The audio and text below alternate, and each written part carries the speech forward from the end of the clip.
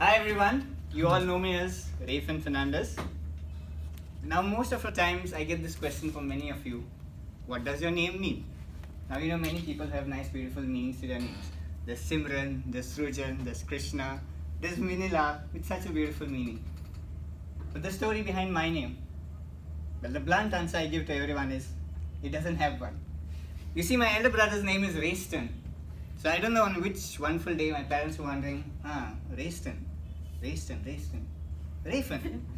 so that's how I get my name. And up till recently, due to a certain particular TV show that came up, my name has found new meaning. You see, my full name is Raifen Valerian Fernandez. Wow. Those of you who didn't get that, please go and watch Game of Thrones. Growing up, I was a very shy and nerdy kid. I don't know, somehow between my younger age till like about 5 to 10 years old, I went out from that confident, if you have heard my P5, you know what I'm talking about. From that zone to the shy nerdy kid, then I had a bunch of friends. Uh, it wasn't much into sports, just played a couple of few games, underarm cricket with my cousin at his place. And from what I, my mom keeps telling me is when I was a little kid, I was a very naughty person. So my favorite target was anything that's kept above my reach. And I used to go find the stick, find the cupboard, find the dining table, and sweep everything across whatever's kept up, and to lead with breaking of lots of glasses on the floor. So that's how I think I like to shatter things that are going on in my life. Going ahead, uh, after I completed my 10th, I went into science. The reason being, I had an elder brother who was very good at studies.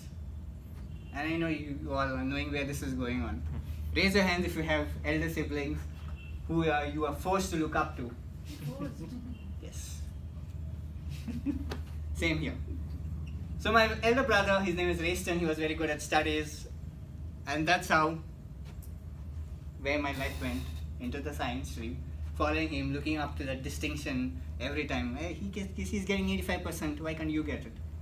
That's how after 12th I went, joined the science stream and that's where something nice happened. I used to see my brother coding in Pascal, you know, the blue screen, writing the code. That's where my interest into computers peaked in and that's where I decided I too want to do something in the computer stream and that's where I picked up my interest in programming. I reached my 12th standard and were that's where I came across my major force or my major rival, math. So math told me that science is not meant for you. And it was clear from that on that after 12th, engineering was, wasn't an option for me.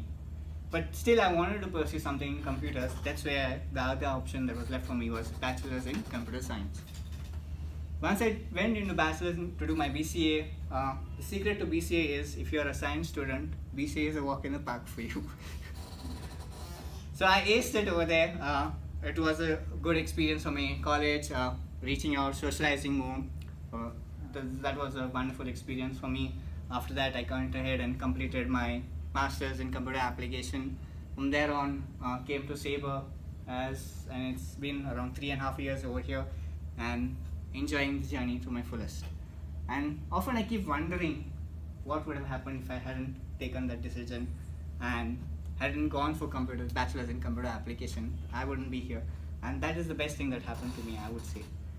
Moving ahead, uh, what I like and what makes me like insignificant me. I love learning new instruments as TM Krishna mentioned. Uh, I remember first trying to play the piano of course, I'm not a professional player, but I look forward to learning the flute and the drums.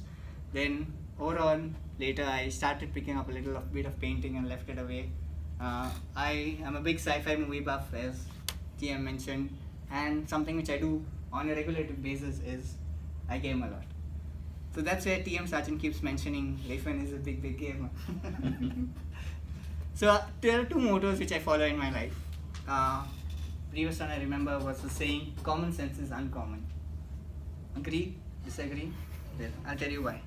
Often we take things for granted, some things that which we know, we often think, okay, this is such a basic thing. Someone else should also be knowing that. A few examples, you know how to use your phones, but your parents or your grandparents, uh, They don't want even to look at it. It's very trivial just to open and press or drag or something from. So that's why I believe that common sense is uncommon, uh, wherein things which you feel are very common is not necessarily be known to the others or might be a very trivial thing. Second thing, don't leave anything for regret. Don't say, if only I had done this. Whenever you want to pursue something, you want to achieve something, you want to do something, you want to talk about something, just do it. The outcome of this is if it didn't work out, well, you did it, you gave it your best shot. What more could you think of it? Rather than waiting down the lines thinking, oh, if only I had done this, maybe things could have been different. So that's my message I leave for you with all. Don't leave things for regret. Don't be that person saying, if only I had. Thank you, everyone.